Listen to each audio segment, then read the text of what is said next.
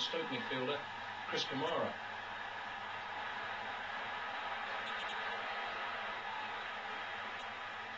And then in the second half, Strachan was given room on the right, and he put it to good use by providing a chance that Lee Chapman gratefully accepted.